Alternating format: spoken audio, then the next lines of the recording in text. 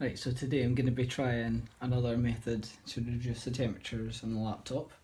So outside it's currently minus 3 degrees Celsius and right now I've got a program here that'll put a load on the processor and then this program will monitor the temperatures.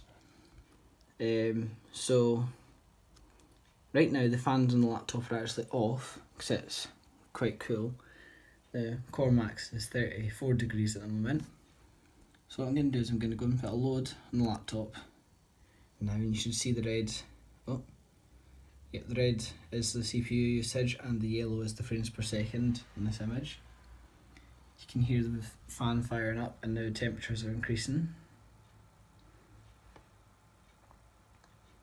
And so what I'm going to do is I'm going to let this heat up and then I'm going to take the laptop outside into the cold, minus 3 degrees and see if that has any impact on the temperature. So I'll let it get up to heat and then I'll come and get back to you once it's reached its highest.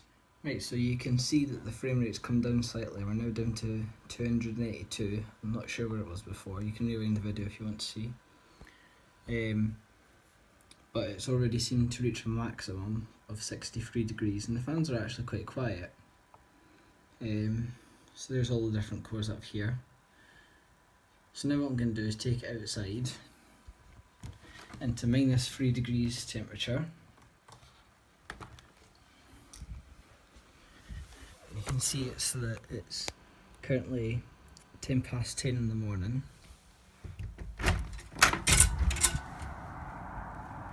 Just open the door here and out you go.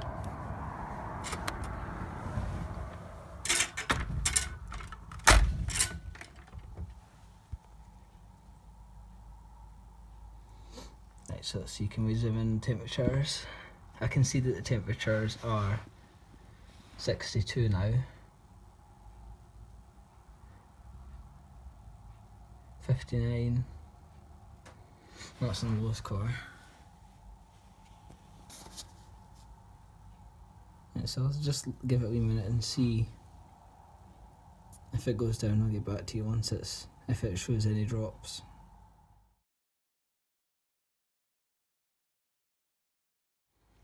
Right, so we're back about four minutes after we set it outside. Temperatures have gone down to 60 degrees, uh, although the first the core zero has gone down to 56. Um, the frame rate, I don't know if you can see that, has gone up to 297, which is an awful lot higher than it was before, about, well, not an awful lot, about 15 frames higher. Um, so it is, it's improving performance I think. It's not really lowering the temperatures, but what I think we'll do now is because it seems to have stabilised out again, it's just turned the screen off, is I'm going to put the laptop to sleep, leave it out there for a good half hour, and then I'll come back and see what it's like to use then. So I'll just to go to sleep. Well, I don't know what that is. Sleep.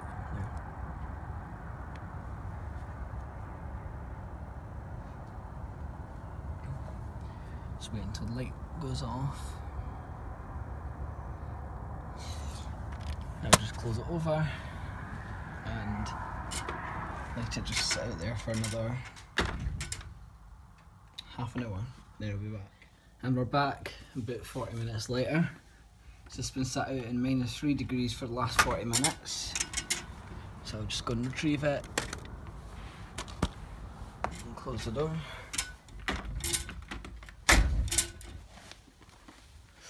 Oh, that is freezing. So I'll turn it on. And it comes straight back up. Oh.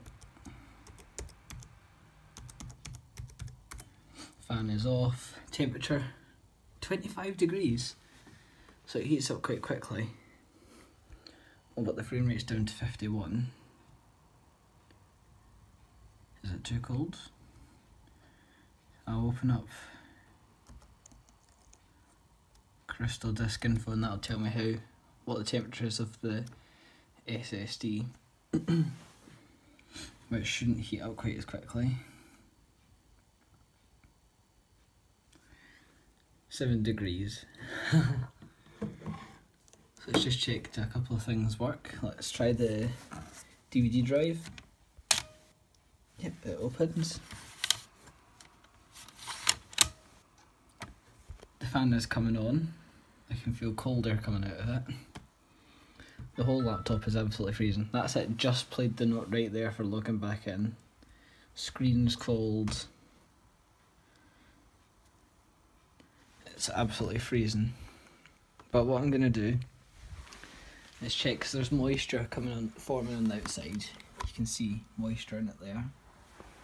If I open this up,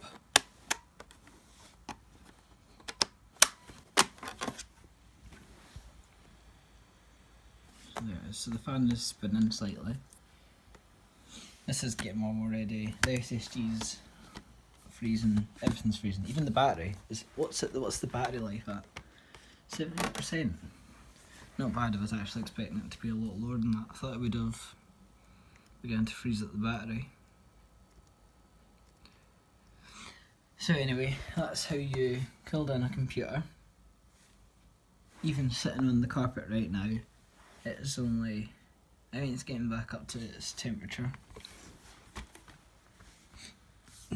but if you feel that, that is extremely cold. So anyway, that's it for this one. Um, I'll also give you one more way to cool down your laptop if you're having overheating issues. This laptop doesn't have any issues, but I know an awful lot of laptops will have issues. So I'm just gonna let's see. Our frame rate is really low in this for some reason. Look at that, only at 64. She's an awful lot of RAM as well.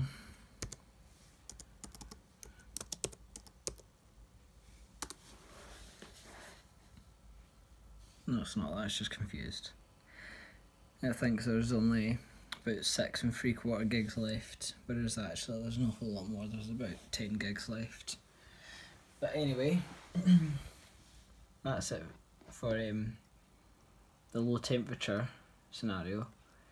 Um, but I'll also show you how to cool it down with increased airflow. Right, here's just a quick video on how to improve laptop cooling performance. Um, hopefully for cheap, if you have the thing that we need. Although I think it's pretty common to have. So I've got AIDA, IDA 64 running here on the laptop and it usually hits about high 60s, 68, 69 and stays about there. Uh, I've just clicked something. But anyway, yeah. It's, that's pretty much the temperature it gets to. Um, but how to improve that? I've already cleaned out the dust, replaced the thermal paste, and that brought down from thermal throttling to this below 70 degree. But if you want to take it even further, this is where the vacuum cleaner comes in. So you can either use a wee handheld one like this with a thin nozzle, or a, a, a big one with a thin nozzle. Um, this one has a max suction mode, um, and I'm going to use that now. But if you're planning on actually using this, which is probably not very convenient, you could use the high suction extended run. So let's go max suction, and we'll line this up with the back of the laptop at, at the cooler, and I'm going to turn it on in three, two, one, go.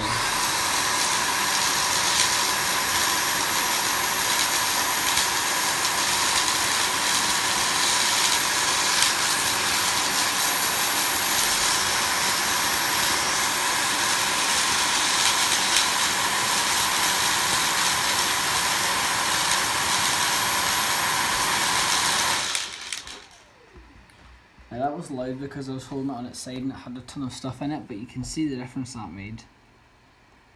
So, just an idea. It turned out it worked really well. So, If you want, you can give it a try, but as proof of concept, it works. Thanks for watching. See you in the next one.